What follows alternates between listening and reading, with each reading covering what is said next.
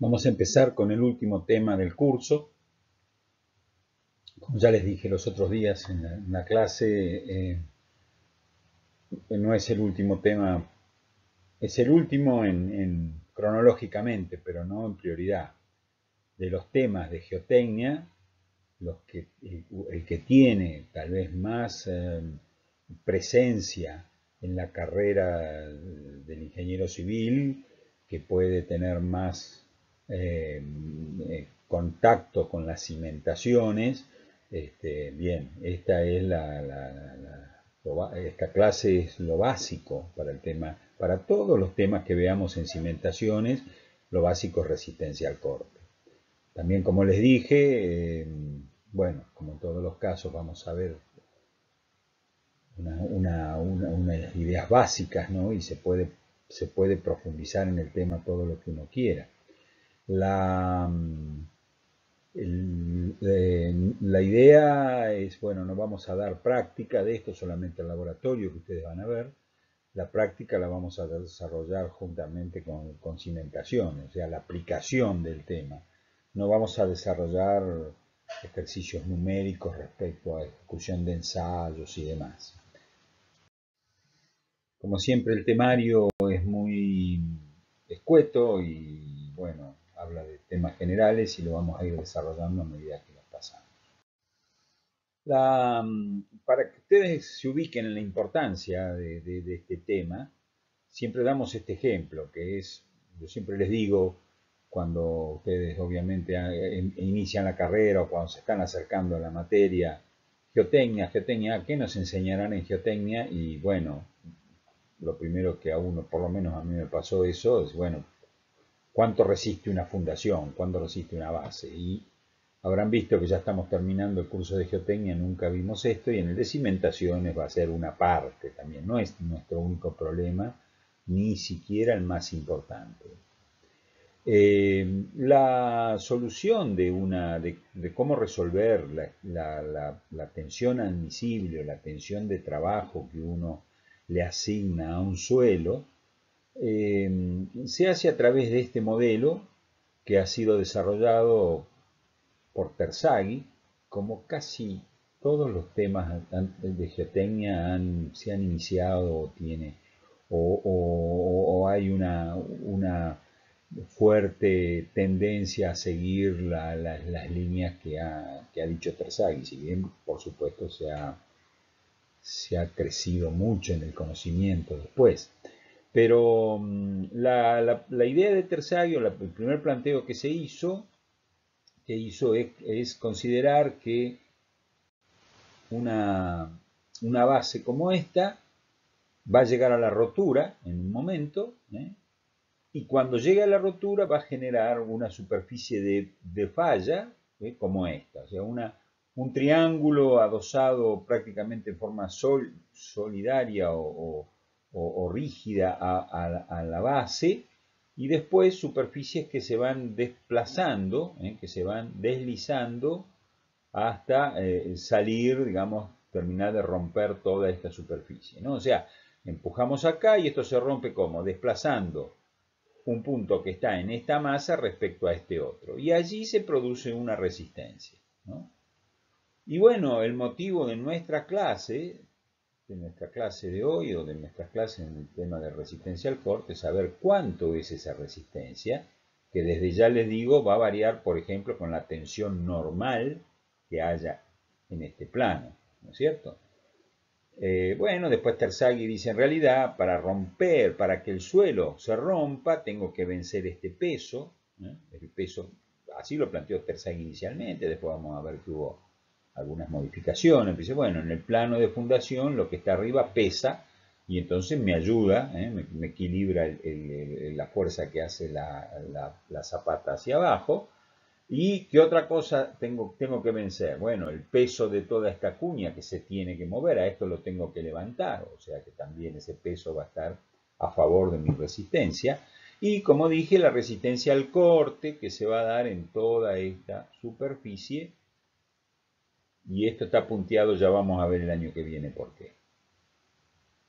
Pero entonces, para resolver, y este es un ejemplo, todas las resoluciones de geotecnia pasan por resolver una superficie de rotura y, o, bueno, la mayor, la mayor parte, ¿no? Pero en general todo, pilotes, estabilidad de taludes, empuje, todo lo que vamos a ver pasa por trabajar con esta resistencia al corte. Si no me creen, este es un ensayo, un análisis que se hizo en la Universidad de La Plata, en el laboratorio.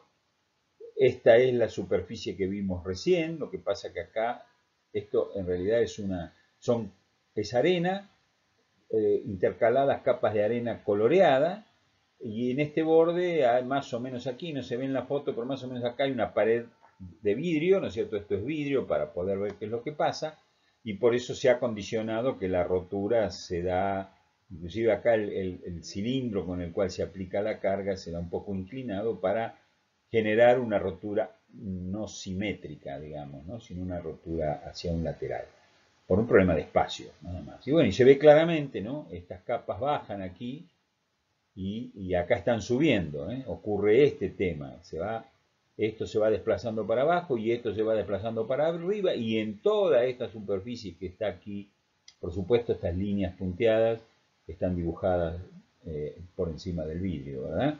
Porque, eh, pero se ve claramente cómo es la rotura en el suelo que sí son capas de distinto color. Y eh, bueno, ya les anticipo, hay una teoría, la teoría de Moore-Coulomb, que es la que nosotros seguimos y que es la, la que la geotecnia sigue este, que dice que la resistencia al corte que se produce aquí en este plano sigue una ecuación como esta. C, algo que llamamos cohesión, más sigma, que es sigma la carga normal que hay en este plano por la tangente de phi. Esto es una ley que obviamente tiene base experimental y que es sobre la que se, maneja este tema. Vamos a repetir mucho esto, ¿no? Hasta que lo aprendan. como siempre les, digo, les digo, esta es una expresión que hay que saberla de memoria, ¿no? O, hay que saberla tan bien que no hay que dudar. C es la cohesión ordenada al origen. Esto si ustedes se fijan en un plano tau sigma, esto es una recta, donde la tangente de phi es la pendiente y C es la ordenada al origen. Cambia sigma y cambia la resistencia al corte. Si sigma es cero, la resistencia al corte es lo que llamamos cohesión. ¿Eh? Bueno, esta es la primera presentación. Vamos a insistir con esto. La representación en ese plano tau sigma es esta, ¿eh? una recta, donde este ángulo es phi. Eh, y podemos dividir entonces la resistencia como una resistencia cohesiva, una recta horizontal por debajo de la misma, para cualquier sigma la cohesión es constante, y eh, el, término en fricción aumenta obviamente para sigmas cada vez mayores. La resistencia cohesiva entonces es la que corresponde a la que se desarrolla independientemente de la presión normal en el plano de falla, es la ordenada al origen de la curva de resistencia intrínseca del suelo en el plano tau sigma. A esta se la llama curva de resistencia intrínseca en el plano tau sigma y su sigla suele ser CRI. Em, la resistencia friccional. Entonces la cohesiva es la ordenada al origen. La friccional se puede representar por esto que ustedes ya conocen desde física 1. O sea, una cajita que puede ser de madera, de acero, de cualquier cosa.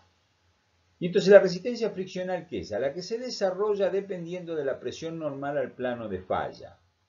Es la pendiente de esta CRI en el plano tau Ustedes recuerdan de física 1, decimos, si yo tengo algo que pesa que tiene un peso W. ¿Qué fuerza tengo que hacer para que esto se, se, mueva? O sea, en el momento que esto se desliza. Hablábamos, en física se hablaba de resistencia estática y dinámica porque cambia una vez que se empezó a mover, se reduce esa resistencia. Pero para nosotros es la estática, nuestras estructuras no, no andan este, eh, acelerándose por el espacio. Bueno, andan acelerándose en el conjunto, ¿no? Pero relativamente a donde están apoyadas, estamos en cuestiones, en problemas estáticos. ¿Y cuánto valía esa T en física 1? Un, coeficiente de roce que llamábamos mu. ¿eh? La fuerza T para mover un bloque era mu por W. que es W, el peso, de qué dependía mu de las propiedades del material. ¿Es función del área? No. Si yo a este bloque, en vez de ponerlo así acostadito, lo pongo parado, o sea, cambio el área de contacto, la fuerza T es la misma. Porque depende, esta relación depende de las propiedades del material. Eh, si decimos que este material no tiene cohesión, eh, resistencia friccional, la ecuación que vimos antes de Mohr-Coulomb se reduce a sigma por la tangente de phi. O sea, nosotros en geotecnia decimos que tau es sigma por la tangente de phi. Acá les hice trampa, les pasé de fuerza a tensión. ¿eh? Recién veníamos hablando de T y W y ahora estoy hablando de tau y sigma.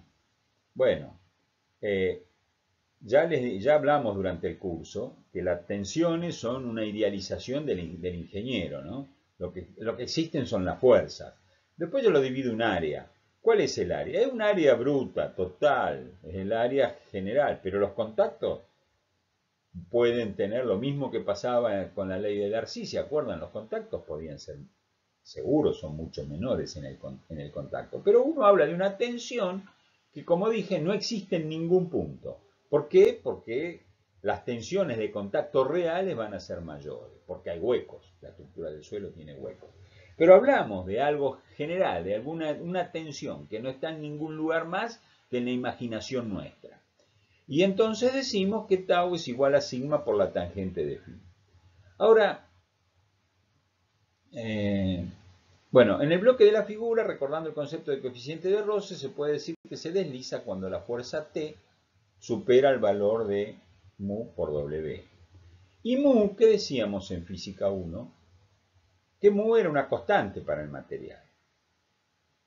Bueno, uno puede pensar que, si hay un desplazamiento eh, muy, em, eh, es? sostenido, puede haber un efecto de, pulido de las superficies y esa, esa fricción cambiar, no es el caso de los suelos, cuando se quiere pulir un poquito porque ya se rompió todo, o sea, para nosotros no hay ese efecto de pulido, y esta expresión tau es igual a mu por w es constante, siendo mu lo que se conoce como el coeficiente de roce y una constante para los materiales en cuestión, también para los suelos. Por lo tanto, si esto es una constante, si mu es una constante, t sobre w es una constante. ¿Y qué es T sobre W? La tangente de phi. ¿Por qué? Porque dijimos que tau es igual a sigma por la tangente de phi. Si multiplicamos esta por el área, me queda que T es igual a sigma por T, o W por, por la tangente de phi, digamos.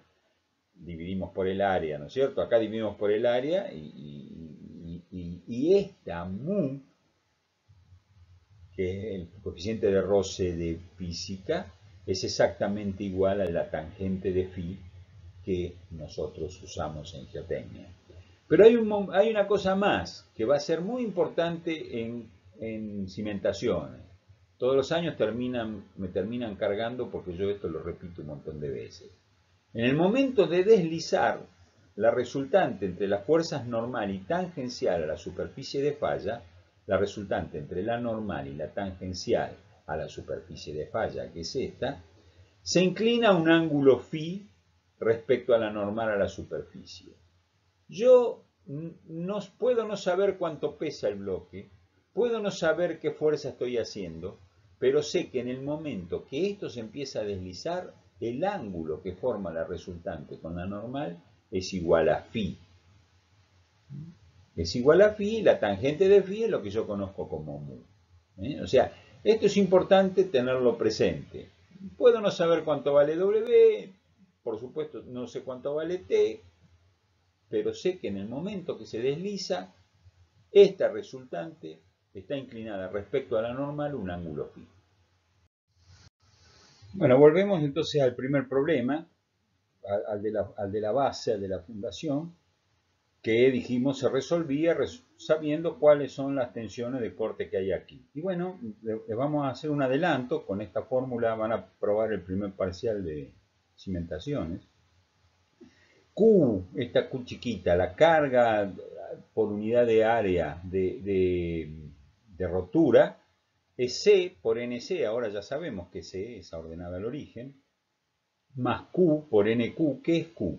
Es el peso este que tenemos en este nivel, es más grande, si es más grande este peso, más me cuesta romperlo, o sea, esta carga crece, más un medio gamma B, que es B, el ancho de la, de la zapata, esto es una cimentación corrida, quiere decir que es como si fuera un tabique, ¿no? Esto es en, la dirección normal a la transparencia, es hasta infinito no es rectangular, ni circular, ni nada. Este, entonces, más un medio gamma B por n gamma. ¿Qué son NC, NQ y N gamma? NC, NQ y N gamma son factores de capacidad de carga adimensionales que están únicamente en función del ángulo phi de fricción del suelo. Entonces, si yo conozco C, conozco phi, tengo que conocer el peso del suelo también, el ancho de la zapata que voy a poner y puedo determinar cuál es la carga que me genera rotura. ¿De dónde salieron estos coeficientes? Ah, Terzaghi hizo un montón de cuentas, nos, allanó el problema, como es un problema, digamos, de, geométrico más que nada, y bueno, y encontró unas relaciones entre phi, nc, nq y n gamma que nos permiten dar, solución a este problema. ¿eh? Después le ponemos un factor de seguridad y decimos, bueno, nuestra carga tiene que ser tres veces más chica la que rompe para decir algo. Lo vamos a volver a ver, lo vamos a ver en cimentaciones con más detalle. Pero digamos, ¿cuál es la importancia de nuestro C y de nuestro Phi? Que nosotros en geotecnia tenemos fórmulas a las cuales hay que cargarlas, hay que ponerle como input el C y el Phi. Y si no tenemos el C y el Phi, no podemos resolver nuestro problema. Esto que vale para las fundaciones superficiales, también lo vale para los pilotes, y como les dije, para el empuje y cualquier problema de suelo que se nos quiera presentar cuando uno tiene que hablar de qué momento se rompe, ¿eh? cuando estamos analizando cuál es la rotura. Eh, ya hemos visto algo en el curso que a ustedes les tendría que quedar claro. Tal vez este ejemplo no sea el mejor, pero bueno. Eh, si nosotros pudiéramos poner acá una piedra porosa que tuviera la misma fricción que el, resto de... Que alguien me puede decir, no, pero si esto es liso es una cosa, si esto es poroso es otra. Bueno, vamos a hacer como siempre, yo le digo en el pizarrón, tanto en el pizarrón como en, la, en las transparencias, digo ahora que estamos en situación virtual, uno puede hacer cualquier cosa. Después la realidad es otra. Pero yo acá me puedo imaginar que acá abajo tengo un material que deja pasar al agua sin hacerle perder carga y tiene una fricción igual que el resto de, la mesa. En este caso, en este caso, si yo pongo una altura de agua, U, H de agua, perdón, por el gamma del agua me da una presión neutra U acá. Y la expresión de Coulomb queda tau, ¿se acuerdan antes? Era sigma por la tangente de phi, ahora es sigma menos U. Es lo que llamamos sigma prima obtención efectiva. Acuérdense de no confundir, acá estamos estáticas, si acá hubiera una circulación de agua hacia arriba podemos tener otra historia. Pero imaginamos que acá el agua sale muy lentamente, que no hay un problema dinámico y hay un problema nada más que de empuje. ¿Qué, es el concepto? ¿Cuál es el concepto de esta transparencia? Lo que transmite esfuerzo de corte es la presión efectiva, sigma prima. Si, yo le pongo agua acá que me lo levanta, o le pongo un globo aerostático que me lo levanta para arriba esto, ¿eh? un, globo que, le quita peso, y bueno, la presión que vale es la efectiva, la que se transmite a través de los granos. Por eso, en esta, en esta expresión, cuando hablamos de resistencia al corte, es sigma prima por la tangente de phi. La forma más directa de medir la resistencia al corte de un suelo es la caja de corte, el ensayo de corte directo. Directamente es muy simple, es una caja rígida que se pone una muestra de suelo, la mitad en, una en la parte inferior que queda solidaria, digamos, al aparato, y hay una parte superior que se, que se desplaza horizontalmente. Tenemos una acá otro elemento rígido al cual le ponemos una, carga, y entonces una carga normal y para distinta. cargas normales evaluamos la, los desplazamientos hasta, y la llevamos, la, la carga esta tangencial hasta la rotura. O sea, ¿por qué esta forma curiosa de este gancho? Bueno, para que la carga aplicada en el mismo nivel no produzca un momento, ¿no? No, Queremos que las tensiones normales acá en este plano sean constantes y que las tensiones tangenciales sean también lo más constantes posible. Hay una particularidad más, se miden las deformaciones. Eh, en este caso, este, eh, este, este, este, indicador está mostrando la, que se va a medir, se va a registrar el desplazamiento de este punto respecto a un punto fijo, que sería igual a, la, a, lo fijo que está la, la caja inferior, ¿verdad? Y después, algo que puede ser para ustedes una novedad, se mide también el, desplazamiento horizontal. Novedad, ¿por qué? Porque bueno, si yo estoy tirando para allá, ¿por qué esto se va a levantar o se va a bajar? Sí, puede ser entendible para ustedes que cada vez que yo le aplico una carga mayor acá, esto se vaya a sentar. Pero que después, cuando yo hago el desplazamiento, manteniendo esta constante, hago, genero este desplazamiento, este, este, hago este esfuerzo horizontal, no tendría en principio que seguir desplazándose este delta H. Sin embargo, sí ocurre. Bueno, otra cosa más, obviamente que acá tiene que haber rodamientos o algo, ¿no? Porque si no, yo tiro con la fuerza T y estaría midiendo el roce que se produce aquí y también el roce que se produce acá arriba con lo que yo esté aplicando la carga P. Por lo tanto, acá tiene que haber algún dispositivo que no genere roce. Eh, es un ensayo más didáctico para entenderlo, pero como se verá más adelante, no es el más práctico ni es el habitual para determinar la resistencia del suelo en el laboratorio. Lo que nosotros usamos habitualmente, y tal vez ustedes ya lo habrán escuchado, es el uso de ensayos triaxiales o la ejecución de ensayos triaxiales y no tanto de corte directo. Pero bueno, vamos a verlo en, la segunda parte de, esta clase. La, digamos, la aplicación de este ensayo, la ejecución de este ensayo, eh, termina en dos curvas. Cuando a veces le preguntamos, ¿para qué se hace el ensayo de corte? Para averiguar los parámetros de resistencia. Ya acabamos de ver cuáles son los parámetros de C y Φ. Si yo sé, si yo sé cuánto vale la letra C, la cohesión y el ángulo de fricción, sé cuánto vale la resistencia. Pero no es algo que se mida directamente. Lo que nosotros medimos en el ensayo es, o, registramos en el ensayo, son estas curvas.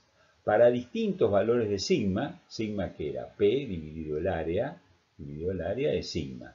Para distintos valores de sigma, con distintas probetas, hago con distintas muestras, hago ensayos en los cuales veo cuál es la fuerza T, cómo se, cómo se desarrolla la fuerza T o la, tensión tau, si divido la T por el área, a medida que se, va que se va generando un desplazamiento delta. Hay un desplazamiento para el cual se produce la rotura, en este caso, de una arena densa, dice aquí, esto es este comportamiento de una curva de esta forma es típico de una arena densa. Entonces, las, los desplazamientos nosotros medimos para una carga sigma constante cuánto es el valor, cómo varía T con delta y lo graficamos acá. Y medimos también cuánto varía delta H con delta y lo graficamos de esta manera. Tal como está, eh, por lo que dice aquí, algunas cosas tal vez me voy a adelantar para decirlas, después están escritas en la siguiente transparencia y la vamos a pasar más rápido.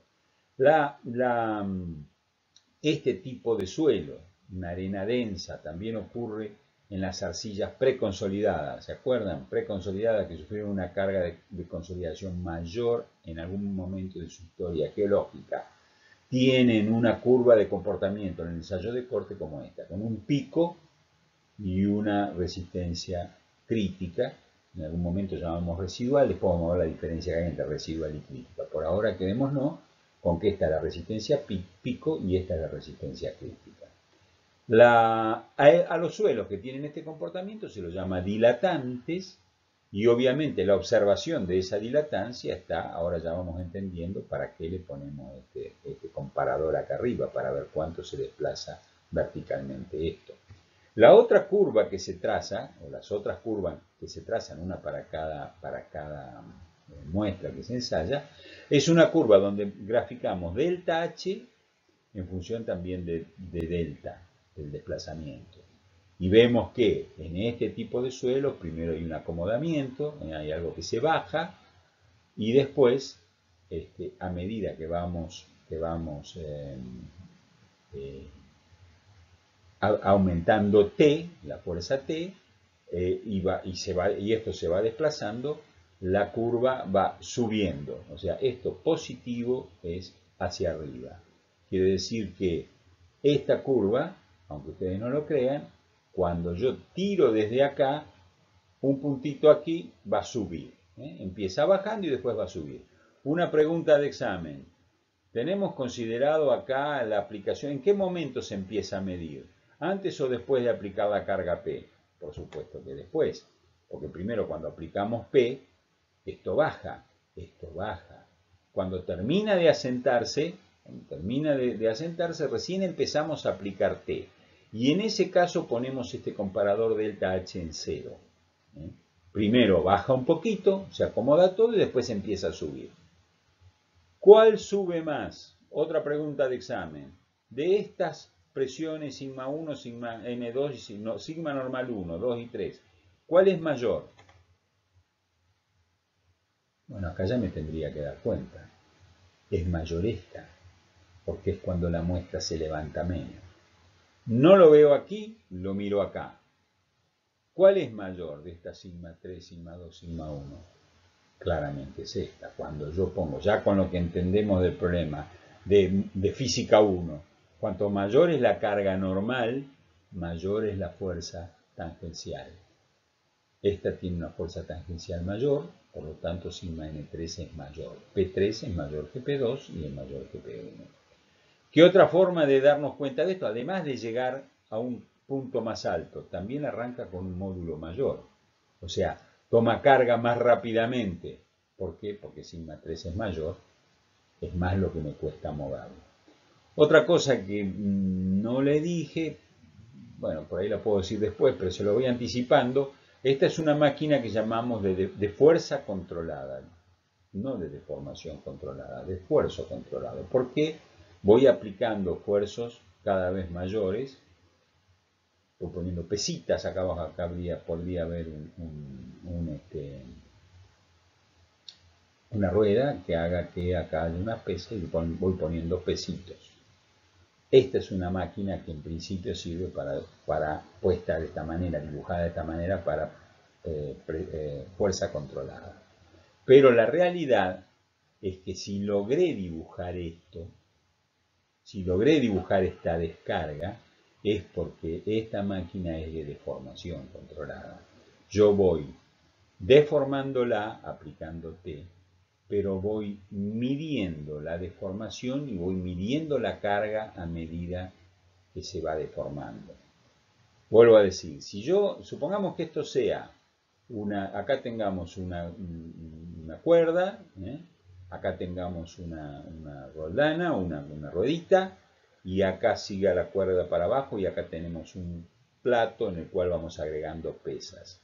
Agrego pesas y esto se va deformando. Agrego pesas y se va deformando cada vez más. O sea, voy agregando una pesa, aplico una carga mayor y esto se deforma para el costado grafico este punto.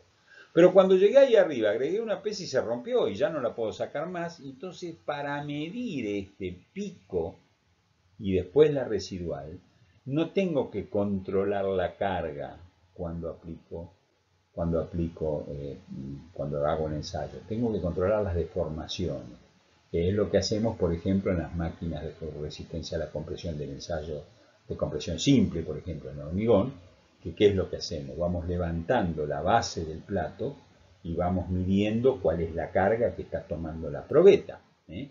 Este es el para tomar la pico y la residual, no lo puedo hacer de otra manera que no sea con una máquina de deformación controlada. Eh, bueno, creo que no me olvidé de nada. Igual en las próximas, como dije, se repite mucho de, mucho de lo que yo ya dije está en la, bueno, una cosa que sí que no dije, las tres probetas, las tres ensayos que se hacen acá, se hacen con una relación de vacíos constante, o sea, con el mismo suelo. Si dijimos es una arena densa, cuando empezaron las tres probetas, tenían la misma relación de vacíos, si no, estamos haciendo ensayos a materiales distintos. Por supuesto que cuando le aplico P y aplico la P mayor, o sea, aplico la sigma 3, que es más grande, la relación de vacío va a quedar más chiquita. ¿Por qué? Porque los huecos se van a achicar. Pero cuando yo puse la muestra inicialmente, antes de tocarla, las tres muestras tienen que tener la misma relación de vacío, tienen que ser iguales, porque si no es como si estuviéramos ensayando tres materiales distintos. ¿De acuerdo? Ahora, ya habrán entendido ustedes que con estas dos curvas que se hacen en el ensayo, yo no saqué 6 phi. ¿Para qué hago el ensayo? Para ver cuánto vale 6 phi, que es lo que me interesa. Acá, hasta ahora, que tengo? Que, para una presión, para una carga 1, que da una tensión normal 1, la resistencia al corte es 7 en las unidades, si le pongo 2 es 11 y si le pongo 3 es 14, pero no tengo nada más que ese dato. Y por otra parte tengo el dato acá que es dilatante. ¿Por qué? Aumentó su volumen para romper. Y además veo que es dilatante, ¿por qué? Porque tuvo un pico y después una crítica.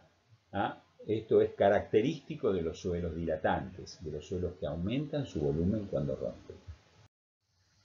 La como, bueno, esta es una, hay muchas representaciones, pero esta me gustó. Eh, si yo tengo un esquema como este, tengo una, superficie por la cual va a pasar la rotura y yo aplico una fuerza en este punto y otra en este otro, de manera tal que trato de que se produzca una cizalla, un desplazamiento por corte en un plano que está por el medio como este, está claro que este, esto está tan bien acomodadito que, salvo que se rompan las partículas, que eso no suele pasar, porque ustedes saben que las partículas son mucho más resistentes que la estructura del suelo. Entonces, para presiones bajas, que son las que habitualmente usamos nosotros en geotecnia, no ocurre, la, en general, no ocurre la, rotura de partículas. Entonces, si la partícula no se puede romper, ¿qué va a hacer? Va a girar respecto a este punto. ¿Ven? Esta, esta flechita así me está indicando que esta partícula, que estaba en la situación más acomodada posible, cuando esto se rompió, giró respecto a este punto y aumentó el volumen. ¿Ves que alrededor hay más celestitos? Celestes son los vacíos. Aumentó el volumen. Y bueno, entonces el delta H mío está midiendo que esto se levantó. ¿Cómo puede aumentar el volumen cuando lo estoy rompiendo? Sí, porque si, estoy, si arranco de la situación, imaginemos que arranco de la situación más densa posible, ¿se acuerdan la densidad relativa? Tomo la densidad relativa más grande posible, no hay otra forma que se rompa, que se aumente el volumen. ¿Mm? Volvemos entonces a este caso. Eh, es lo mismo que antes, a ver que, mm, creo que todo esto lo dije, los módulos, las pendientes esta, este módulo E es la pendiente de esta curva, ¿verdad? En el plano tau sigma, tau delta, perdón. Delta es el desplazamiento. Lo que se denomina resistencia pico corresponde a pequeños desplazamientos, eso no lo dije, pero está implícito. Para pequeños desplazamientos tengo resistencia pico y la resistencia crítica ocurre para grandes desplazamientos. Grandes se llaman los desplazamientos, se llaman distorsiones, no, no es una, una deformación específica con presión. Cuando aplico tensiones de corte, la, deformación se llama distorsión. Después vamos a ver un minutito. Se verá que hay suelos que se denominan compresibles, ya no dilatantes como este, en que las curvas tau delta muestran una curva monótona creciente sin que se pueda, eh, pueda eh, definir una resistencia pico. Si yo ahora la misma arena la pongo acá con una relación de vacíos más grande, o sea, más suelta, la curva de, para una carga P1 como esta puede ser así, siguiendo lo que estoy dibujando aquí. Monótona creciente y, ya les anticipo algo, llega a lo que se llama la resistencia crítica. Coinciden las dos. Una vez que rompí la estructura, que me queda como si estuviera suelta. ¿eh? y, las dos coinciden. finalmente llegamos a la curva que nos interesa. Explicamos recién cómo se trazaban en el ensayo estas dos, estas dos eh, series de curvas, una para cada, mejor dicho, dos para cada ensayo que se hace, el de, el tau delta y el de delta con delta H. Si sacamos, si vamos a representar el pico, la resistencia pico, sacamos de cada una de estas el pico, ¿eh? para una delta sigma n1, para una sigma n1 tenemos un, tau de 7, independientemente de las unidades. Para, ese delta, para este sigma n1 ponemos 7, aquí ponemos para n2 ponemos 11 y para el otro 14. Y esto tendría que estar, si la teoría de, de es, este, eh, no, tiene errores, debería estar según una recta. La realidad es que la teoría de Moore-Coulomb no hay nada en la naturaleza es tan perfecto y, la realidad es que siempre estas son, tienden a ser curvas. Podemos ver un caso también por qué se da la situación curva para bajas presiones, pero aún en el caso de, tener eh, materiales que no sean suelos, en general el comportamiento no, sigue siendo tan lineal. Pero bueno, en general, para cuando uno trabaja en, problemas de geotecnia, el rango de tensiones que, uno va barriendo en sus problemas no es tan grande y en ese rango de tensiones uno puede asimilar que se dé una, una quede, representado por una recta ¿eh? y por eso Seifi. Por supuesto, porque con una recta es mucho más simple que poner una ecuación cuadrática desde el punto de vista numérico. Es mucho más simple plantearlo como una recta que hacer otro tipo de, especulación. De cualquier forma, como ya lo hemos dicho muchas veces, hoy tenemos tantas herramientas que nos permiten hacer cálculos más sofisticados y con, con, variables que sean mucho más, que tengan una relación mucho más compleja que una relación lineal.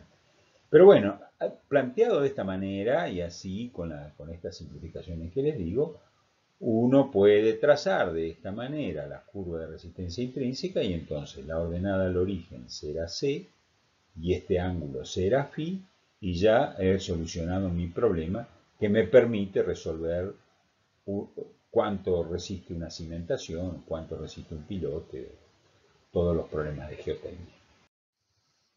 Bueno, lamentablemente este año no lo van a ver en el laboratorio. Esta es la máquina de corte que nosotros tenemos, que como les dije es bastante didáctica también. Eh, acá hay una, acá está la celda donde está la, muestra y la muestra tiene un carrito eh, que eh, la muestra está entre la parte superior y la parte inferior y tiene un carrito que se desplaza con rueditas, con rulemanes que hacen que no haya fricción en, el otro extremo. El flexímetro que mide el desplazamiento vertical, el flexímetro que mide el desplazamiento delta horizontal, un, un em, aro dinamométrico cuya deformación se mide con este flexímetro y multiplicado por la constante del aro me da la carga, y este es un equipo de deformación controlada. ¿Qué está haciendo el operador acá? Está, que es alguien conocido para la cátedra, está mm, generando un desplazamiento, este desplazamiento constante, a una velocidad constante, y se está observando la carga. Si esto se rompe, bueno, sigue desplazando acá y ¿qué vamos a ver? Que acá la carga es menor. Si pusiéramos pesitas acá abajo, no la veríamos más, se rompería y no lo vemos más. La carga vertical, ¿cómo se aplica? Bueno, aquí tenemos un barral que está apoyado sobre la muestra, esto no se ve en detalle, después hay un esquema que se ve mejor, y acá abajo se aplican pesas. Esas sí son constantes, sigma permanece constante en todo el ensayo, La, la nomenclatura es esta, por eso acá hablábamos de distorsión. La muestra original y la muestra para una presión la muestra para un suelo que se ha, que se deformado por cizalla esta es la distorsión, esta distorsión angular, ¿eh? por eso no hay un desplazamiento vertical, sino una distorsión angular, y en este caso es lo que llamamos suelo tipo 1 o suelo compresible. Era más habitual hablar de suelos compresibles y suelos dilatantes. Últimamente la bibliografía, porque algunas cosas se han ajustado un poco más, y se, llama suelo tipo 1 o suelo tipo 2. Suelo tipo 1 es aquel que, cuando yo le aplico esta, este, mm, deformación de distorsión, disminuye su volumen. Epsilon z es delta, delta z sobre h0, gamma zx Gamma es la distorsión angular, es delta X sobre H0. Y bueno, en el caso de tener un suelo dilatante que aumenta su volumen, el epsilon z tiene un signo negativo. Bueno, a veces se usa negativo en un sentido, a veces en otro. Pero bueno, esta es la forma, ¿no? De, sigma z es esta, la sigma, el tau es la que estoy explicando, eh, aplicando en, las dos caras de la, de la muestra, y un suelo tipo 1 responde de esta manera, un suelo tipo 2 de esta otra, aumenta su, altura, su volumen, pero la distorsión es la misma. ¿eh? Esta gama ZX también tendría que estar representada aquí. Ahora vienen unas cuantas transparencias que son la reproducción de un ensayo, un ensayo virtual. La verdad que Tendría que haberles pasado el video, pero no tuve habilidad para, sacarlo de esto. Está publicado en un libro y para sacarlo de allí. Así que están, están sacadas las, las pantallas, digamos, las distintas pantallas del ensayo y está explicado. Está explicado en inglés y yo lo he traducido en todos los casos. Vamos a pasarlo rápidamente porque no tiene sentido hacer esto demasiado largo. Está todo explicado tal como, como, se dice en el libro, así que después lo leen, obviamente si no entienden algo me, me dicen. Es la representación de un ensayo de corte, acá está bastante bien simple la, máquina de corte, tenemos, tenemos una carga vertical que se da con una válvula, dice, de control de aire, le dan aire y esto aplica una presión, la presión se mide aquí, o sea que acá directamente está representado en, carga en newton, y la deformación vertical que se produce se muestra en este delta z. Y en el otro sentido tenemos el motor de fuerza horizontal, que también acá indicamos la presión, mejor dicho, acá se, aplica presión con aire en este caso, pero directamente registra la presión en, en newton, ¿no? La presión en newton, y el em, medidor de desplazamiento horizontal delta X. Entonces, delta Z, delta, delta X, fuerza en X, fuerza en Z. Y, como les dije, acá hay rodamientos para que no haya roce. El único roce que estamos midiendo, o sea, cuando aplicamos esta fuerza y este carro se va para allá, lo único que estamos midiendo es roce que hay en ese plano. ¿Mm? Bueno, creo que está todo explicado. De cualquier forma, si falta algo, me, me lo dicen.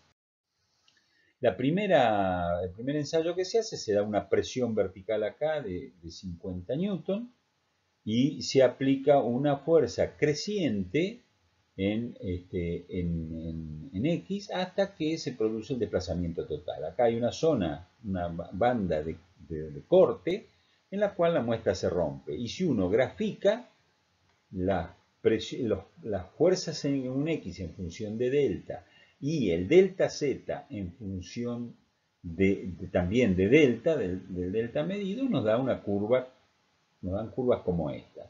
Estamos en lo que llamamos estado crítico, esta curva es monótona creciente, no hay una rotura pico y una, y una crítica, y los desplazamientos en z son este, descendentes, ¿no? o sea, graficado hacia arriba lo que es un descenso.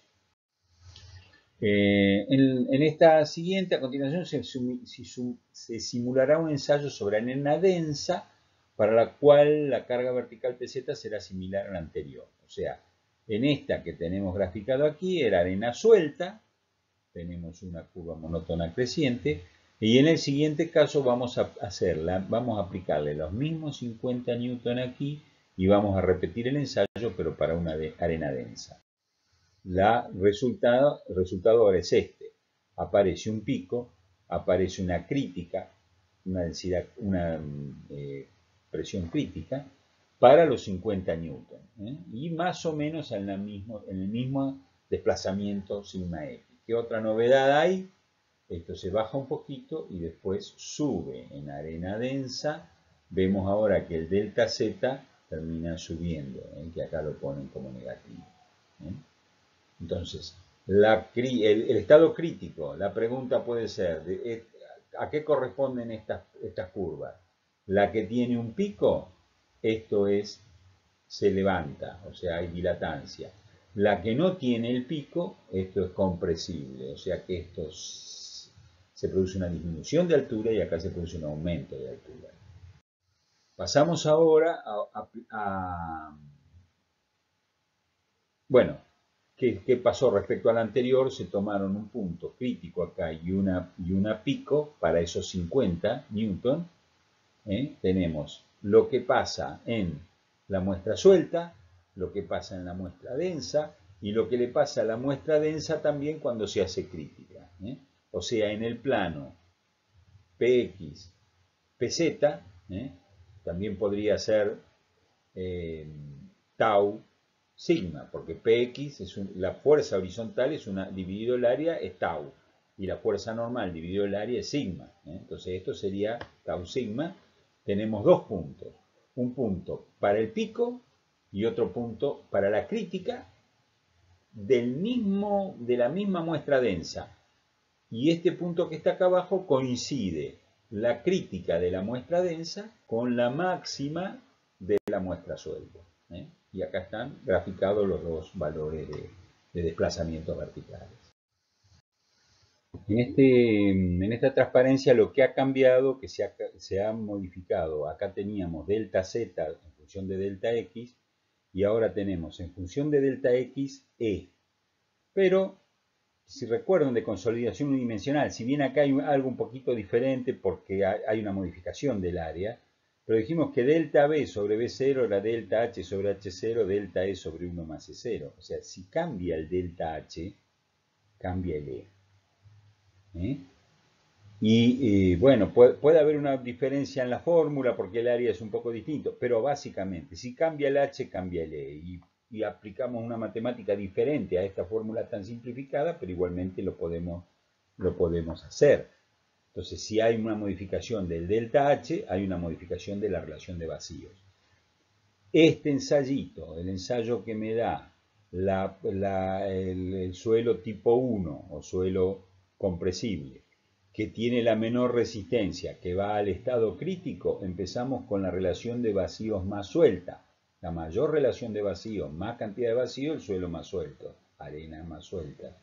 A medida que vamos que se va deformando, o sea, que, la, que se va deformando hacia abajo, digamos, se va reduciendo su altura, va también reduciéndose la relación de vacíos, hasta llegar a algo que llamamos relación de vacíos crítica, que, o coincidencia, coincide, coincide con la que llegamos con la, con la muestra más, más densa, la arena densa que tenía un pico y después una resistencia crítica, también arranca de una relación de vacíos por supuesto menor, porque la muestra está más densa, baja un poquito, pero después empieza a aumentar su volumen, aumenta el delta Z, hasta llegar a la misma relación de vacíos crítica. Entonces tenemos una relación de vacíos crítica que para grandes deformaciones coinciden en el caso suelto y en el caso denso.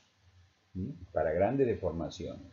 Cuando esto rompe en el pico, en ese caso no tenemos la relación de vacío crítica, tenemos una relación de vacío eh, menor que como la que empezamos.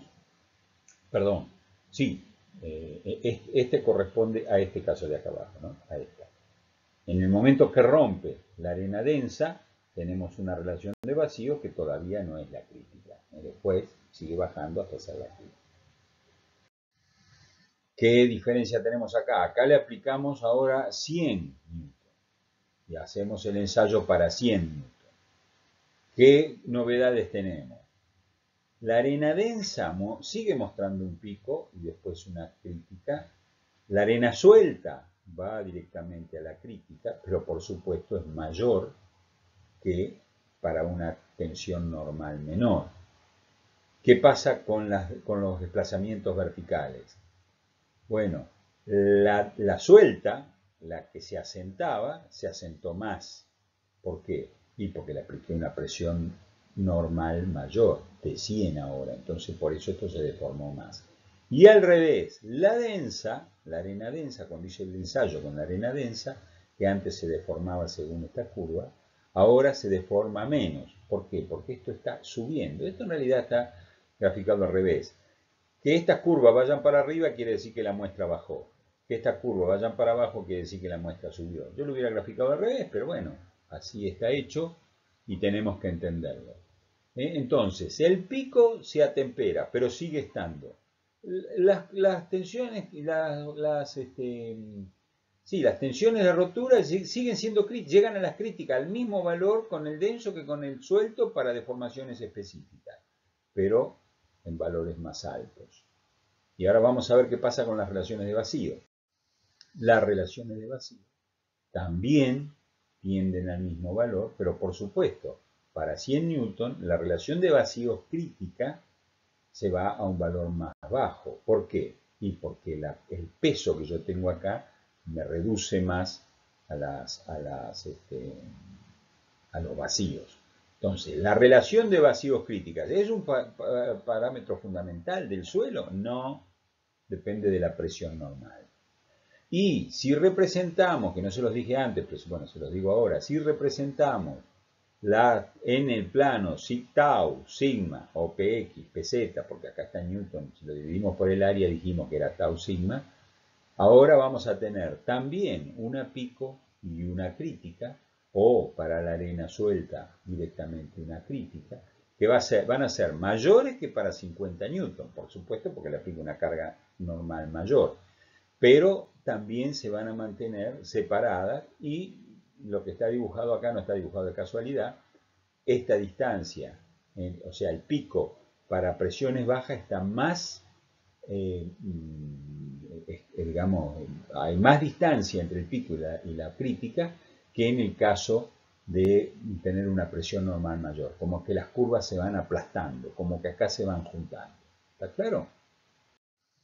Cuando aplico una presión de 200 newton mayor, aplico una presión aquí de 200 newton, ¿qué es lo que pasa? Bueno, ya prácticamente que se borra el pico y la residual y las dos son iguales.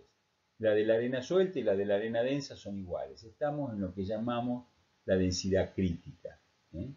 Nos aparece una curva como esta aquí, un punto como este aquí, que es igual para los dos. Bueno, en este caso está dibujado prácticamente lo mismo. Se dice que hay un suelo tipo 1 que es no dilatante y un suelo tipo 2 que es el, este, dilatante, o sea, son las arenas densas. Pero aún un suelo que, que funciona como dilatante, si uno empieza a aplicarle presiones eh, normales cada vez más altas, lo estamos transformando en un suelo, en un suelo compresible, o un suelo tipo 1. Eh, para esta curva roja, las deformaciones son muy pequeñas, eh, estaríamos en desplazamientos nulos y estaríamos en una situación de, relación de vacío crítica en todo el desarrollo del ensayo. Esa es un poco la tendencia. Bueno, acá un poco se vuelve a decir lo mismo. Este, lo único que las arcillas normalmente consolidadas o levemente preconsolidadas funcionan como un suelo tipo 1 y las arenas densas o las arcillas preconsolidadas funcionan como un suelo tipo 2, ¿no? que serían los que tienen eh, pico, una resistencia pico y después la crítica. La, lo que se dice acá es que si trazáramos uniéramos todas las resistencias críticas que salen de los ensayos en arenas sueltas y en las arenas densas, en ambos, todos se, em, alinearían según, algo que le llamamos ángulo de fricción interna efectivo crítico. Es un parámetro fundamental porque hay una, hay una relación de vacíos crítica para la cual el suelo no cambia su volumen y es un parámetro fundamental. Lo demás depende del grado de compactación que tenga y depende de la carga normal que yo le ponga. ¿eh? Pero si si estoy en una, en una situación de densidad crítica, bueno, voy a tener la, el, valor, no voy a tener, voy a tener deformaciones muy pequeñas aquí y todo va a estar, digamos, este ángulo de, fricción crítica va a ser, es un parámetro del suelo. La, acá en este caso se han representado las dos, se ha representado el pico y se ha representado la crítica. ¿eh? el pico que salía de estos puntos, este, este, este ya es, este punto de la curva roja es este que está aquí, ahí se juntan los dos. Entonces tenemos una resistencia pico y la roja una resistencia crítica para suelos sueltos, para el mismo suelo suelto. Para una fuerza normal grande, aún algo que se comporta como un suelo tipo 2, o sea que genera dilatancia, acá se la logramos, con esta presión normal, la logramos planchar a la, dilatancia. No, no, el suelo no tiene capacidad de aumentar su volumen y por supuesto no aumenta entonces su resistencia. Eh, diferencia, o sea, podemos a su vez trazar distintas curvas como la verde, acá está un poco escondida, pero si tuviéramos otro punto por aquí, la, recta verde iría en esta dirección pasando por ese punto. O sea que el phi' de pico iría variando punto a punto, no así el phi' de, eh, estado crítico, critical state, CS, ¿no? Que ese sí es constante para cualquier presión. La diferencia entre los dos es lo que se llama la diferencia entre este ángulo del verde y la roja, es lo que se llama dilatancia, ángulo de dilatancia o alfa. Acá está definido como la relación entre las dos, delta sigma z sobre delta sigma. La, bueno, hay algunos suelos que eh, se llaman tipo 2A, que son aquellos, vamos a leerlo, en algunas arcillas preconsolidadas las partículas se orientan en la dirección paralela al cizallamiento partículas en la zona de la banda de corte. La banda de corte era la que se producía acá. Eh, causando una fuerza de corte final o tensión de esa arcilla que resulta menor que la tensión del estado crítico. O sea que si tenemos un estado crítico como esta, como la roja, va a haber un suelo 2A al cual le va a pasar que hay una, que hay una menor resistencia residual. ¿Por qué? porque todas las partículas, que se llama residual, porque todas las partículas se orientan y disminuyen. Es como si tuviéramos un suelo en estado crítico de peor calidad. Una arcilla a la cual la, podemos, digamos, orientar todas las partículas de forma tal de disminuirle la resistencia crítica. Y a ese ángulo se lo llama ángulo de fricción residual. El ángulo de fricción residual es menor al ángulo de fricción en estado crítico. ¿eh? O sea, estamos teniendo un suelo tipo 2A cuando se produce esta bajante ¿eh? y vamos a, una, a una resistencia residual menor. Bueno, las transparencias que vienen ahora son un repaso. En el mismo libro, estamos repasando todo lo que ya se ha dicho. Eh, yo se las voy a dejar a ustedes que la lean para no hacer tan larga esta presentación, se hace muy larga si no. Em, y cualquier cosa me preguntan. Pero es exactamente lo mismo que acabamos de decir. Acá tenemos la diferencia entre el pico y la, crítica. El ángulo que vale para cuando no hay cambio de volumen. Cuando en la rotura no hay cambio de volumen. Estamos en el estado crítico.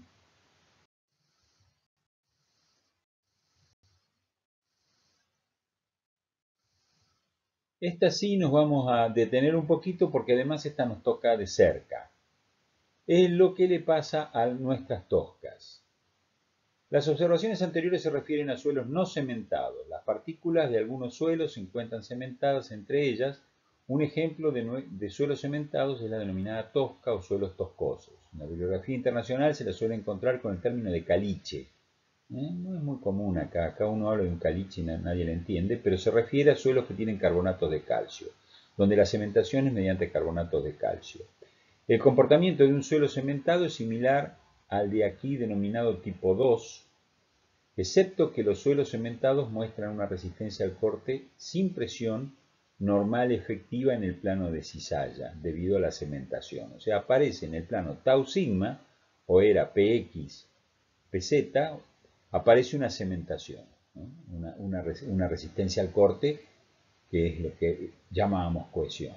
Para deformaciones específicas grandes, los lazos de la cementación se rompen y la tensión de corte en la intersección con el eje comúnmente llamada C0 se pierde. Pero bueno, tenemos entonces una curva, arcillas, en las cuales, en general son arcillas las cementadas, también hay cementación en suelos arenosos. Pero entonces hay una cementación y después crece un poco la resistencia al corte con la presión normal. Y también tenemos el comportamiento de suelo tipo 2, digamos, con un, con un pico y una resistencia crítica que en este caso se la suele llamar resistencia residual. La, para los suelos normal, eh, sobreconsolidados, over consolidation ratio, es, ¿se acuerdan? Los, más, los que tienen un suelo, bajo suelo de eh, grado de consolidación tenían un pico muy poco insinuado, o sea, era más bien tipo 1. Cuando aumentamos el grado de sobreconsolidación, vamos al tipo 2 más francamente. Eh, bueno, esto es lo que se observa en la, experiencia, digamos, es, empírico esto, ¿no es cierto? Y con respecto a la expansión, también ocurre lo mismo. Los que tienen mayor grado de consolidación tienen una expansión mayor, ¿no? Recuerdan, primero comprime un poquito y después expande. Vamos a decir una vez más lo mismo, o reiterar, o repasar eh, porque hay algunas diferencias en la nomenclatura, entonces para no, confundirlo. Pero bueno, esto es lo que ya hemos visto. En este primer gráfico tenemos el suelo tipo 1, el suelo tipo 2, que eh, tienen una, el tipo 2 tiene una resistencia pico y una crítica que coincide con la crítica del tipo 1, o sea, del mismo suelo suelto. Y el tipo 2A, que es un suelo que cuando se rompe, cuando se generan desplazamientos importantes, se produce una orientación de las partículas que hacen que disminuya esa, ese estado, esa resistencia crítica. O sea, hay algo que siempre se ha llamado resistencia residual, pero bueno, hoy es más correcto decirle resistencia típica de un suelo tipo 2A. Eh, las, este, los suelos de tipo 1 con esfuerzo efectivo normal muy bajo también pueden exhibir un esfuerzo cortante máximo durante el corte. O sea, suelos tipo 1 pueden tener, con tensiones muy bajas, se transforman en tipo 2. Esa es una excepción, digamos. Y después aquí vemos las curvas de epsilon z en, eh, en compresión en el tipo 1 y en un poquito de compresión al principio y después en expansión en el tipo 2. ¿eh? lo que llamamos tangente de alfa es esta pendiente en el momento de la rotura. Alfa es, es eh, el, ángulo de, el ángulo de, de, de dilatancia, no me salía la palabra. La En, el, caso de la relación de vacío, si en vez de representar acá los valores de epsilon representamos las relaciones de vacío, el tipo 1 sale a una, a una, eh, con, una, con una relación de vacíos más alta que después, a medida que se va eh, digamos, reduciendo su volumen, va, va disminuyendo. Y en el estado crítico se llega a un estado crítico que es el mismo estado al cual llega a una relación de vacíos crítica, que es la misma relación a la cual llega el mismo suelo más denso que se comporta como suelo tipo 2. Recuerden que esta relación de vacíos crítica depende de la presión normal, no es un parámetro del suelo. Bueno, en esta lámina vamos a prestar más atención en este gráfico de la izquierda arriba, donde tenemos curvas tau, gamma, o sea, tensión de formación, para eh, distintos, para dos tipos de suelos y para distintas presiones de confinamiento. O sea, o, presiones normales. Las presiones normales van creciendo conforme las, curvas van hacia arriba. Suelos tipo 1 son estos más claritos, no, no tienen un pico, van directamente a la, resistencia crítica y, bueno, obviamente las deformaciones son siempre en compresión, digamos, de de achicamiento de los vacíos. Los suelos tipo 2 ya empezamos a tener curvas que van siendo cada vez más rígidas a medida que, a medida que aumentamos la tensión de confinamiento. Pero son más rígidas y además tienen un, punto de rotura cada vez mayor. Y además tienen otra eh, diferencia, o sea, se marca otra tendencia. Para presiones de confinamiento más bajas, tenemos picos más insinuados o más marcados que para presiones de confinamiento más altas, terminando como en este caso de esta curva que tiene este punto 9, que ya tiene un comportamiento para esa, ese, aún siendo un suelo tipo 2, para esa presión de confinamiento tiene un comportamiento como el tipo 1. ¿Qué implicancia tiene esto en la curva tau sigma? La implicancia que tiene es que si nosotros representamos todos los puntos, 1, 2, 3, 4, 5, que están sobre la, situación crítica, todos estos se ubican de acuerdo a una recta, ¿eh? que es la recta OA, eh, que, tiene, que, está, que están orientados según una inclinación sigma prima CS. Dijimos sigma prima porque es eh, el ángulo de fricción interna en estado crítico, critical state. Cuando representamos los puntos de los picos, nos vamos dando cuenta que primero está el punto 6, que dijimos está bastante separado del 2, ¿eh? para la misma presión normal. El punto 2 y el punto 6 están más separados, o sea, está dividido por un ángulo mayor. Este, este ángulo Φ' sería mayor para el 6, un poco menor para el 7, menor para el 8, y ya el 9 está sobre la curva de resistencia eh, en estado crítico. ¿eh? Entonces, ¿qué implicancia tiene esto en la, en curva tau sigma? Que para presiones de confinamiento más bajas se separa la, la presión pico de la presión residual. La, mm, si vemos E en función de gamma eh, eh, XZ, que sería la distorsión, vemos el suelo tipo 1, el suelo tipo 2, que tienden a dos estados críticos distintos, a dos relaciones de vacío críticas distintas, porque en este caso lo que varía entre esta curva y esta curva es la presión esta, sigma prima n. ¿eh? Bueno, esto también es lo que, lo que ya dijimos en las anteriores.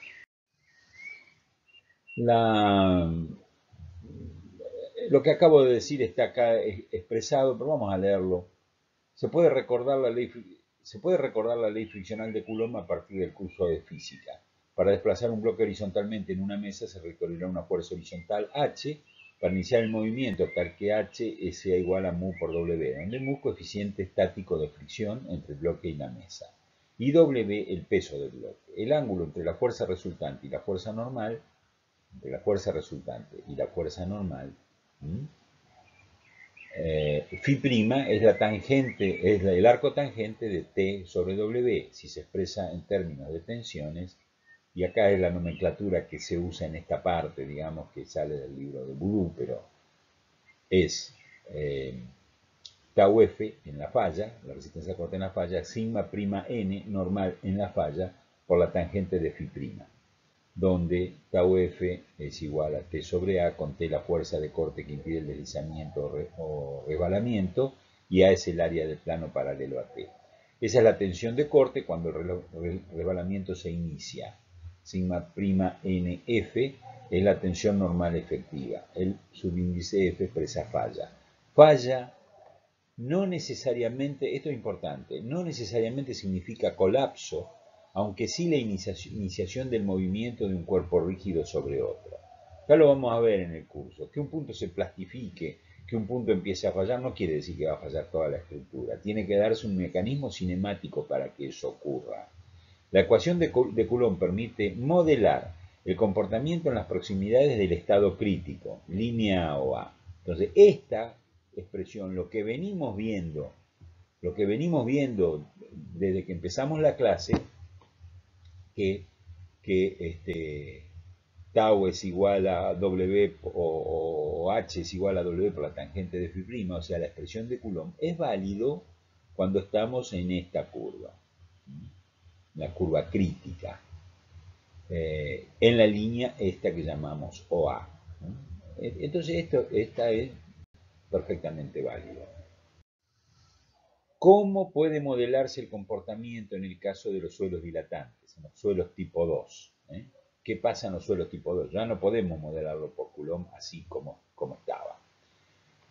Una forma de pensar esto es decir, bueno, nosotros tenemos dos suelos arenosos, digamos, volvemos a, las esferas de diámetro, de igual diámetro. Eh, los suelos no son esféricos ni tienen igual diámetro, pero nos ayudan desde el punto de vista conceptual para entender las cosas. Después, como dije, con una matemática un poco más compleja lo podemos llevar a, la forma eh, de granos, inclusive la forma, no solo la esférica y de diferentes tamaños, pero conceptualmente la cosa no cambia. En el estado más suelto, ¿se acuerdan cuando teníamos todas las partículas tangentes, en, digamos, en, el, diámetro, eh, digamos, con la mayor relación de vacíos? Si yo aplico una fuerza a estas esferas que están en la capa superior, que bueno, acá va a valer va a valer la expresión, este es un suelo tipo 1, suelo suelto, suelo tipo 1, vale la expresión de Coulomb. Si tenemos la situación más densa posible, ¿se acuerdan? las esferas en, de manera que los vacíos, colocadas de manera que los vacíos sean, lo menor posible, para que esto se desplace, cuando yo hago una fuerza sobre las partículas que están en la última capa, en la, fila 2, no queda otra alternativa que haya un desplazamiento hacia arriba, o sea que se produzca esta que decimos dilatancia. ¿eh? Recordando los arreglos posibles de partículas esféricas de igual diámetro, en la figura se representa la situación más suelta, suelo tipo 1, y densa, suelo tipo 2. En el caso del arreglo A, del suelo más suelto, la resistencia al corte puede ser evaluada como se expresó anteriormente, o sea, por la ley de Coulomb. El deslizamiento se producirá en el plano AA, tendremos lo que, lo que en este caso se denomina resistencia en estado crítico. En el arreglo más denso, caso B, si se aplica una fuerza de corte en la fila superior, row 2, el deslizamiento ocurrirá con una componente ascendente. Habrá expansión o dilatancia. Considerando dos partículas A y B, el modelo del bloque de madera se adaptará si se, inclina el plano de apoyo con un ángulo alfa. ¿eh? O sea, puedo simular qué le pasa a estas partículas si yo pongo un ángulo alfa aquí. Notar que la fuerza que moviliza el resbalamiento es horizontal. ¿eh? Este hombre se subió arriba de una tarima para empujar mejor, pero empuja en forma horizontal, porque nosotros estamos haciendo la fuerza de corte sobre este plano, la estamos haciendo desde afuera. No, sabemos, no sabemos qué le pasa al suelo ahí adentro. ¿Eh? Les aclaro que esto lo, vamos a ver ahora, lo vamos a volver a ver en, en, rocas y suelos cuando hablemos de resistencia de una discontinuidad. El tema de la dilatancia en realidad surgió en las rocas y después fue extendido a los suelos y esta interpretación es muy similar a la interpretación que se da en el caso de las rocas. Para generar el mismo desplazamiento en la dirección horizontal se requerirá un esfuerzo mayor que a su vez dependerá del peso del bloque. O sea, antes teníamos un bloque horizontal y lo empujábamos y funcionaba bien. Ahora estamos, como, era como empujar un auto. Ahora estamos empujando el, auto, pero en una pendiente, en un, si alguna vez empujaron un auto con una pendiente este, en la calle en pendiente en su vida, se, se, darán cuenta este, o tendrán bien claro que, que el problema es muy diferente, ¿verdad? Vamos a analizar un poco el equilibrio de fuerzas en esta situación. Usando las ecuaciones de equilibrio en la dirección X y Z, Z a la vertical, X positivas en, este, en la forma que está indicada acá en los ejes, se debe buscar cuál es la fuerza H con la que el bloque comienza a deslizar. ¿Qué es lo que impide el movimiento del bloque? Esta fuerza T. O sea, yo estoy empujando que se genere una fuerza T que vale n, la fuerza normal acá, por mu, o lo que era lo mismo por la tangente de este ángulo phi. Si planteamos el equilibrio de fuerzas según x, a esta fuerza h que está haciendo el hombre en forma horizontal, se opone que n por el seno de alfa. ¿Qué es el seno? ¿Por qué el seno de alfa? Porque si yo acá trazo una vertical, esa vertical obviamente es normal a la horizontal, este plano es normal a esta por definición, porque está normal, por lo tanto este ángulo es alfa. A W que se opone n eh, por el seno, perdón, a h que se le opone n por el seno de este ángulo alfa que quedaría aquí, ¿verdad? ¿Y qué más se le opone? T, que es mu por n, por el coseno de este ángulo alfa. ¿eh? Así tenemos planteada esta expresión. En la dirección z, ¿qué tenemos? W, que, que está en, dirección negativa, y en dirección positiva, ¿qué tenemos? Esta n, por el, dijimos que esta era alfa, n por el coseno de alfa, y tenemos también negativa, yendo hacia abajo, esta t, que era n por, por, mu, por el seno de este ángulo alfa y va hacia abajo. Entonces acá tenemos planteadas las ecuaciones de equilibrio. Sí, ahora despejamos h y w en cada uno de estos, después la dividimos las dos ecuaciones y, y bueno, nos queda esta expresión. Yo las hice estas cuentitas y se entienden y esta cuesta un poco más, pasar desde acá hasta acá cuesta un poquito más, pero háganla que van a ver que está bien. La que nos cuesta más es esta, que esto es igual a esta, a sigma prima n por la tangente de phi prima más alfa, porque hay que recordar esta relación trigonométrica, ¿no? La tangente de alfa más, de A más B es tangente de A más tangente de B sobre 1 menos tangente de A por tangente de B. Ustedes deben estar más, más este, familiarizados que yo con estas expresiones. Pero entonces, aplicando este equilibrio de fuerzas y trabajando con esta fórmula, llegamos a que la resistencia al corte, tau, en la falla, es igual a sigma prima n, la tensión normal en la falla, por la tangente de alfa de phi prima, phi prima es el ángulo de fricción, más alfa. Alfa es este. Es como si tuviéramos un material con mayor phi. Esta phi prima era el phi residual o phi crítico y phi prima más alfa es lo que llamamos el phi pico. Entonces este phi crítico y phi prima más alfa es phi pico. Esto es lo que dice acá. Bueno, vamos a leerlo. Si se analizan las implicancias de la expresión anterior, si alfa es igual a 0 y phi es igual a 30, ¿eh? se tendrá que tau f en la falla es 0,58, que es la tangente de 30, de sigma prima n e, en la falla. Pero si alfa son 10 grados, ahora tau f es 0,84, es decir, un incremento de, de, 10 grados, eh, hay un incremento del 45% en la resistencia al corte para un incremento de 10 grados en alfa. ¿eh? Si la tensión efectiva normal aumenta en el arreglo más denso de partículas, la capacidad de subida de las partículas disminuirá. O sea, si yo aplico una tensión normal más alta, ahora las partículas no van a subir tan fácilmente. ¿eh? Y entonces, eh, la capacidad esa de poder subir es menor. De hecho, podemos imponer una tensión efectiva normal suficientemente alta como para suprimir las tendencias de subida del conjunto de partículas densas. ¿eh? O sea, acá qué pasa? Y acá ya no sube más. O sea, si aplicamos una tensión normal como esta, ya no sube más. La dilatancia es mayor con presiones de confinamiento, con presiones normales más bajas, y va siendo menor hasta desaparecer y el suelo transformarse como vimos en tipo 1. Por lo tanto, la capacidad para expandirse depende de la magnitud de la tensión efectiva normal.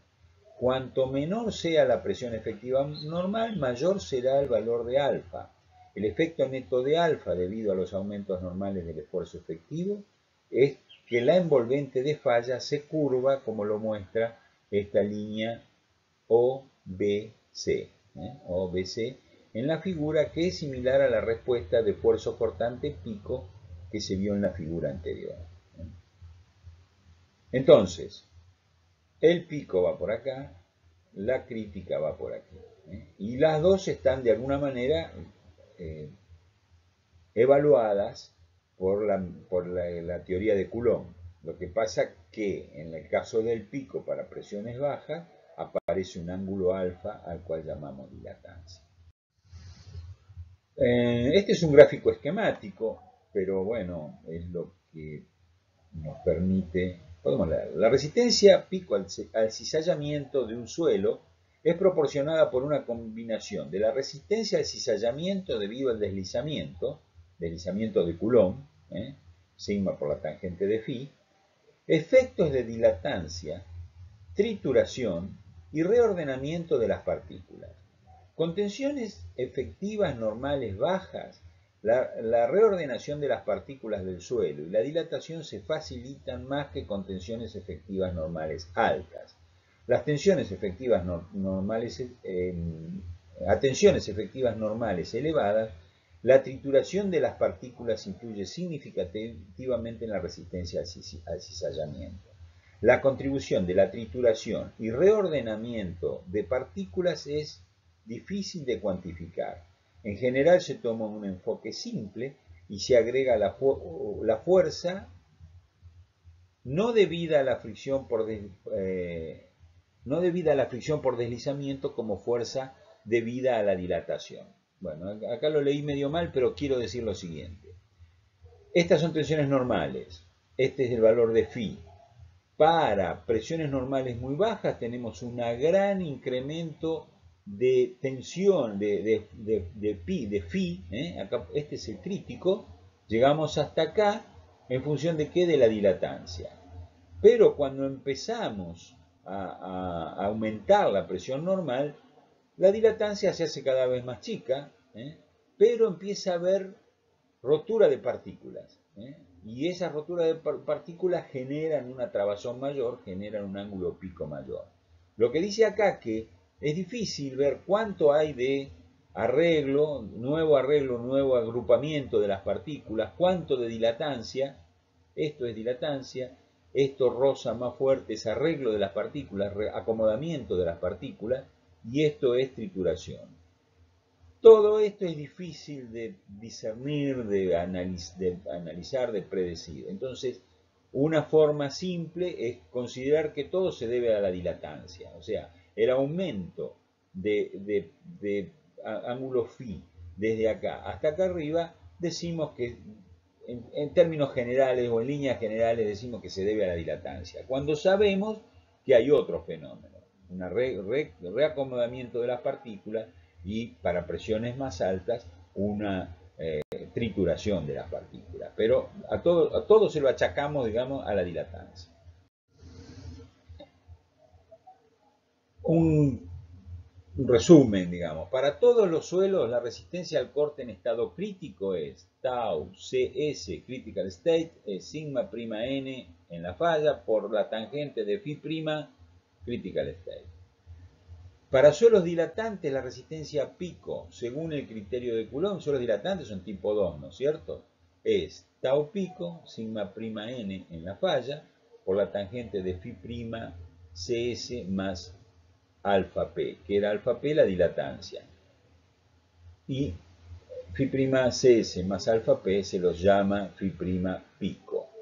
Entonces queda una expresión igual a la de Coulomb sabiendo que adentro tenemos metido esto. Eh, yo creo que todavía sí, hemos hablado ya del modelo Plaxis, que son modelos de elementos finitos, en los cuales eh, simulamos los escurrimientos en medios porosos, simulamos también el tema de distribución de tensiones. Bueno, en ese modelo uno puede incorporar o puede dar como dato el valor de la dilatancia. ¿eh?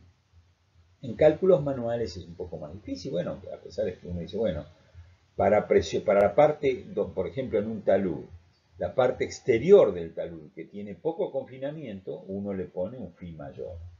¿eh? ¿Por qué? Porque está considerando el efecto de la... Eh, la dilatancia.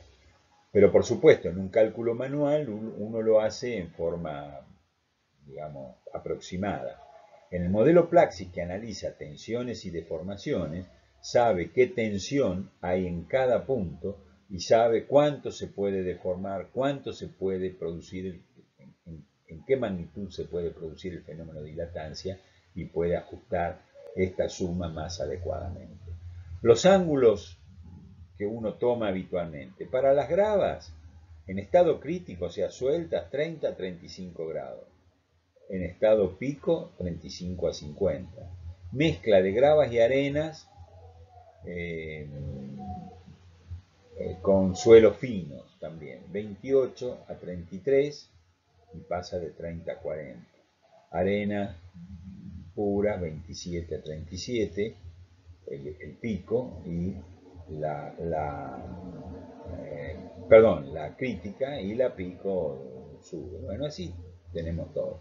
Y aparece para las arcillas un fiprima residual entre 5 y 15 grados, que es lo que sucede cuando tenemos desplazamientos de gran magnitud, que como dijimos orientan a las partículas de arcilla. Bueno, esto es un resumen de todo, lo van a leer ustedes, no lo vamos a, no, vamos a hacer más largo esto leyéndolo. Y aquí tenemos las, eh, las referencias bibliográficas de lo que hemos, hemos incorporado a, esta, a estas transparencias.